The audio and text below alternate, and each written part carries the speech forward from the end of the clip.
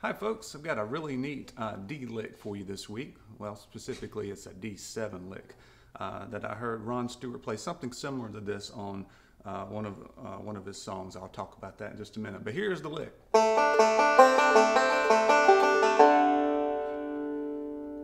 Okay, and you can play that lick on uh, most of the same songs that you you can play the J.D. Crowe split D lick that I talked about in my last video.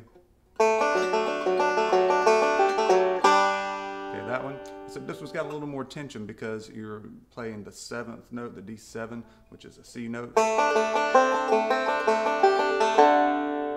Okay, and like I said, I heard Ron Stewart play it on uh, a song called Gonna Settle Down. I think that was on the Clay Jones CD that he uh, played banjo on, and it sounded something like this.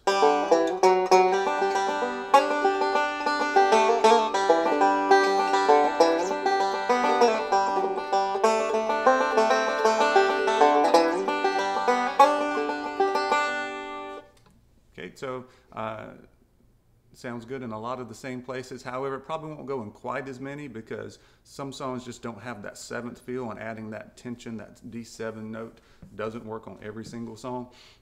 So be careful with it. But I thought it was a pretty neat uh, and unique lick. I haven't heard tons of people play something like that. So I wanted to show that to you guys and after I figured out what was going on. And I've got my high-tech tab. Woo! Paper and a marker. Uh, anyway, I've got it written over two measures, uh, all eighth notes except for the very last note, that big fat fourth string, D string open, bong, uh, which is always fun to play. So a couple things to note about this tab, and that is it's a lot of thumb and middle. In fact, you only hit the index finger twice, once on a forward roll here, okay, and then once on the backwards roll here on the third string. Everything else is thumb and middle. Okay. The other thing I want to point out to you is that uh, that C note, that which makes the seventh of the chord, you actually only hit it twice. And the first time you hit it with the thumb for emphasis. Okay. Uh, and then you hit it again one more time here in a forward roll, and then that's the only two times you hit that.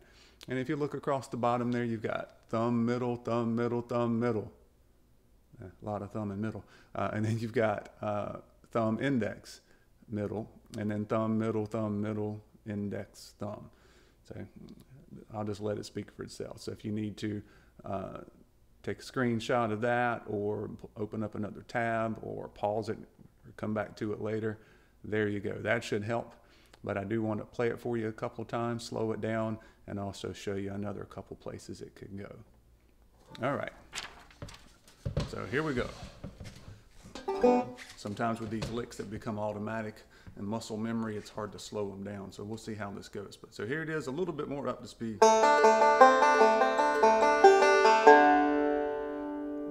And trying to slow it down.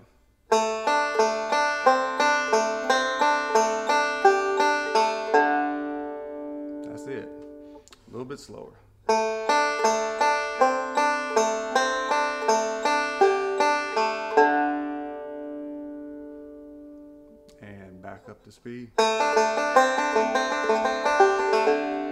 messed up.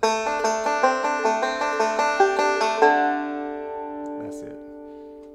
All right, so hopefully that's enough for between the tab and slowing it down for you to catch the lick. Uh, we played it in Gonna Settle Down. You can play it in other types of songs like that, especially vocal numbers that have the, the D chord or the five chord in the middle. Things like um, Take Me in Your Lifeboat. Um, it also goes good in a song like Little Darling Pal of Mine. So let me play that for you.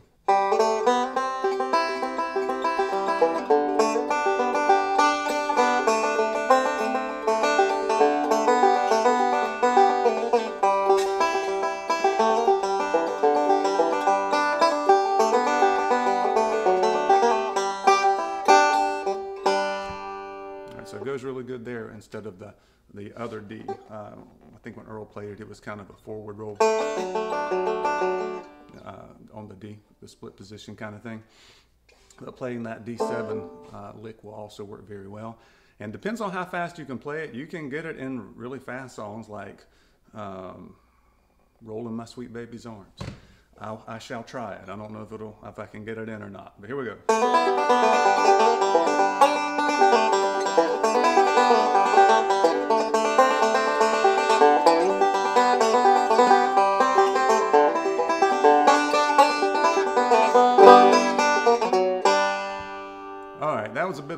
I got the lick in right, so uh, we'll, we'll leave that in for you guys. So hopefully that is uh, enough for you to catch on to that. I really like it. I haven't heard a lot of people play that exact same lick, at least to my ears, I haven't. Uh, and having that seventh note, it uh, it really kind of perks your ears up a little bit compared to some other D licks. All right, you guys try that in some songs and have fun with that. But keep in mind, it may not work in every uh, every song that you've got a D chord like that because of that seventh note kind of conflicts. So just if it feels right, do it. If it doesn't, then don't play it. All right, have fun. See you next time.